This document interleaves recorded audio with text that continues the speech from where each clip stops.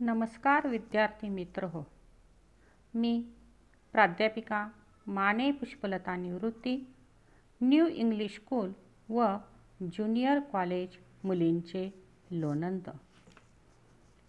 आज आपण इतिहास विषयातील जागतिक महायुद्धे आणि भारत या प्रकरणातील महायुद्धे आणि भारत या घटकाची माहिती पाहणार आहोत। एकोणीसशे चौदा ते एकोणीसशे अठरामध्ये झालेले पहिले महायुद्ध. आणि या पहिल्या महायुद्धात इंग्लंडने आपली वसाहत असणाऱ्या भारताला त्याच्या इच्छेचा विचार न करता युद्धात सहभागी करून घेतले. एकोणीसशे एकोणीस ते वीस अखेरपर्यंत हिंदुस्थानमधील ब्रिटिश सरकारने सुमारे एकोणीस अब्ज रुपये युद्धासाठी मदत केली. यामध्ये भारताने इंग्लंडला पैसे अन्नधान्य कापड युद्धसामग्री तसेच मनुष्यबळ या रूपामध्ये मदत केलेली होती. याचबरोबर भारतीय सैनिक देखील इंग्लंडमध्ये पाठवण्यात आलेले होते. पहिल्या महायुद्धात शौर्य गाजवणाऱ्या सतरा भारतीय सैनिकांना व्हिक्टोरिया क्रॉस हे पदक देण्यात आले. एकोणीसशे अठराच्या अखेरपर्यंत एक अब्ज चाळीस लक्ष रुपयांची युद्धसामग्री भारतातून ब्रिटिशांनी नेली. यामध्ये दारोगोळा शस्त्रास्त्रे कापड ज्यूट तंबू ताक छोट्या नौका इमारती लाकूड रेल्वे आणि वाहतूक साधने इत्यादी साधन सामग्री भारतातून युरोपमध्ये पाठवली गेली. पहिल्या महायुद्धामुळे भारताच्या औद्योगिकीकरणास चालना मिळाली. या पहिल्या महायुद्धाचे भारतावरती संमिश्र अशा पद्धतीचे परिणाम घडून आलेले होते. या पहिल्या महायुद्धामुळे भारतीय व्यापारात तेहतीस कोटी रुपयांची घट झालेली होती. याचबरोबर शेतीमालाला मंदी आली तर औद्योगिक मालाच्या किमती वाढल्या. अन्नधान्याची निर्यात इंग्लंड व मित्र राष्ट्रांना केल्यामुळे भारतात अन्नधान्याची गरज भागणे अवघड झालेले होते. आणि त्यामुळेच त्याचा परिणाम म्हणून भारतात अन्नधान्याच्या किमती वाढू लागलेल्या होत्या. संरक्षणाच्या संदर्भात भारतीय सैनिक आणि भारतीय नेते यांच्या भारतीय सैन्य व युद्धसामग्रीबाबतच्या त्रुटी काही लक्षात आलेल्या होत्या. युरोपात लढताना आपली शस्त्रास्त्रे अन्य राष्ट्रांच्या पेक्षा कमी दर्जाची आहेत ही गोष्ट लक्षात आली. याचबरोबर विमाने अप्रगत यांत्रिक साधने तोपखाना अपुऱ्या वैद्यकीय सुविधा सैन्याच्या आधुनिकीकरणाकडे दुर्लक्ष. सैन्याच्या शास्त्रशुद्ध प्रशिक्षणाकडे डोळेझाक युद्धोपयोगी सामग्रीचे राखीव साठे नसणे यामुळे आपण किती मागे आहोत ही गोष्ट भारतीयांच्या लक्षात आलेली होती. अशी परिस्थिती भारतामध्ये निर्माण झालेली होती. आणि या परिस्थितीमध्ये बदल घडवून आणण्यासाठी ब्रिटिश सरकारने एक समिती स्थापन केली. आणि ती समिती म्हणजेच मॉन्टेग्यू चेम्सपर्ड समिती. या समितीने लष्करातील सुधारणांच्या संदर्भात सूचना केलेल्या होत्या. गव्हर्नर जनरल आणि व्हाईसरॉय लॉर्ड चेम्सपर्ड आणि एडवर्ड सॅम्युअल मॉन्टेग्यू हे दोन सदस्य या समितीमध्ये होते. या समितीने भारतातील ब्रिटिश प्रशासनात कोणत्या सुधारणा करता येतील याचा एक अहवाल तयार केला. आणि या अहवालामध्ये नागरी तरतुदीबरोबरच लष्करी सुधारणाही त्यांनी सुचवलेल्या होत्या. या सुधारणा म्हणजेच त्यानुसार एकोणीसशे सतरामध्ये गव्हर्नर जनरल आणि व्हाईसरॉय लॉर्ड चेम्सपर्ड आणि secretary state of India Edwin Samuel Montagu यांनी भारतीयांना काही आश्वासने दिलेली होती. आणि ती आश्वासने म्हणजेच सैन्यात जात वंश धर्म यांचा विचार न करता हिंदी सैनिकांना पदे मिळतील. सैन्यात योग्य प्रमाणात हिंदी सैनिक भरती करण्यात येईल. इंग्लंडमधील सँडहर्स्ट अकादमीप्रमाणे हिंदुस्थानात अका अकादमी स्थापण्यात येईल. या अकादमीत दहा जागा हिंदी तरुणांच्यासाठी असतील. तसेच इंदोर येथील लष्करी महाविद्यालयातून सैनिकी शिक्षण घेतलेल्यांना किंग्ज कमिशन देण्यात येईल. घोडदळामध्ये कपात करण्यात येईल. प्रादेशिक सेना आदी सुसज्ज करण्यात येईल.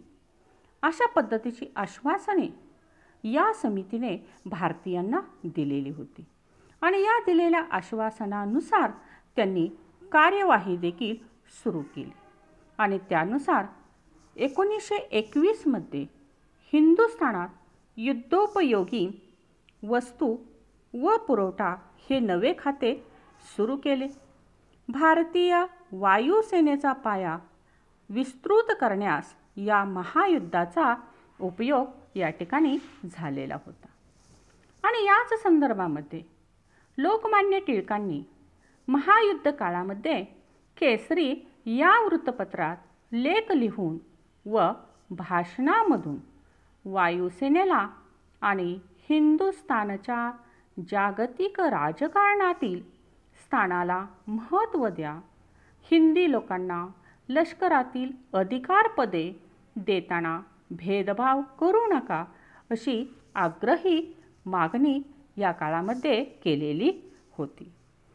पंडित जवाहरलाल नेहरूंनी आपली कन्या इंदिरा यांना पाठवलेल्या पत्रातून त्यांची पहिल्या महायुद्धातील भारताच्या मदतीबाबतची मते करतात ती म्हणजेच इंग्रजी साम्राज्यशाहीने भारताला या युद्धात सक्तीने ओढले. हे युद्ध हिंदुस्थानचे नव्हते.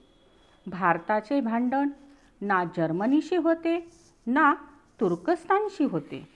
युद्धाबाबत भारताला मतच नव्हते. हिंदुस्थान इंग्लंडची वसाहत होता.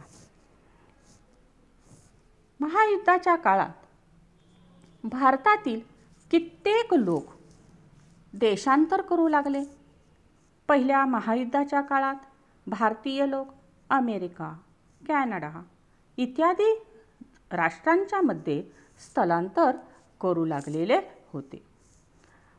कॅनडाचे सरकार हे ब्रिटिश सरकारच्या हातातले बाहुले होते आणि त्यामुळेच त्यांनी हिंदी लोकांना थारा न देण्याचे नाकारले. बाबा गुरुदीत सिंग यांच्या नेतृत्वाखाली कामागाटा मारू नावाच्या झाजातून गेलेल्या भारतीय गटाला कॅनडाने आपल्या बंदरात उतरू दिले नाही. आणि त्यामुळेच हे हिंदी लोक परत भारतात आले. कामागाटा मारू हे जहाज कोलकाताच्या जवळच्या बजबज या बंदरात पोहोचले. जहाजातील उतरूंनी ताबडतोब आपापल्या गावी जावे असे त्यांना इंग्रज अधिकाऱ्यांनी सांगितले. परंतु लोकांनी तो हुकूम मोडला आणि त्यामुळेच इंग्रज अधिकाऱ्यांनी या लोकांच्यावरती गोळीबार केला. यामध्ये तीस लोक ठार झाले. इंग्रजांच्या या निर्दयीपणामुळे देशामध्ये इंग्रजांच्या विरुद्ध प्रक्षोभ निर्माण झालेला होता. जर्मनी हा देश राष्ट्रवादी होता. भारतावरही राष्ट्रवादाचा विलक्षण प्रभाव होता. पण जर्मन राष्ट्रवाद आणि भारतीय राष्ट्रवाद यामध्ये फरक होता. आणि तो फरक म्हणजेच इतरांचे प्रदेश मिळवून आपले राष्ट्र मोठे करणारा साम्राज्य विस्तारवादी राष्ट्रवाद जर्मनीचा होता. तर भारतातील गुलामगिरी संपवून देशाला स्वातंत्र्य मिळवून देणारा राष्ट्रवाद हा भारताचा होता. अन्य देशावरती आपली हुकुमशाही लादणारा राष्ट्रवाद हा जर्मनीचा होता. तर भारतातच नव्हे तर अन्य देशातही लोकशाही यावी या व्यापक ध्येयावरती आधारलेला राष्ट्रवाद आपल्या भारताचा होता. जर्मन राष्ट्रवाद वंशभेदावरती आधारलेला होता. तर भारताचा राष्ट्रवाद हा समानता बंधुता मानणारा होता.